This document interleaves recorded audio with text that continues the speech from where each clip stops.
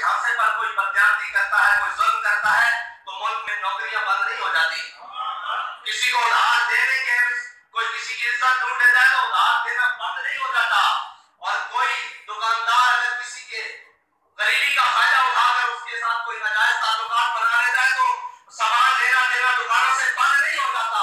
अगर किसी बदबख्त ने ऐसी हरकत की है तो ये याद रखना, उसकी हरकत उसके गले में है। मन कतल मुआयदन मिन गैर गुनाहिन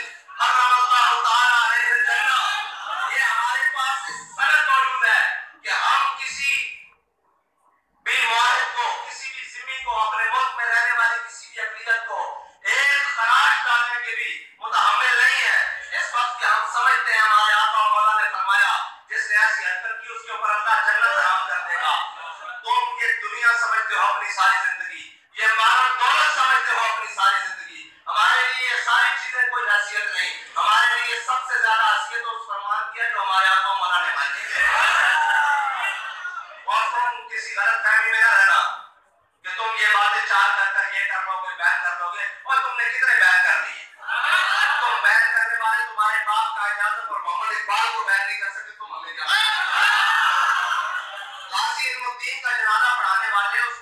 करने वालों को जब बैन नहीं किया जा सकता तो मुमताज़ कादरी के मामले को सही करने वालों को बैन कैसे कर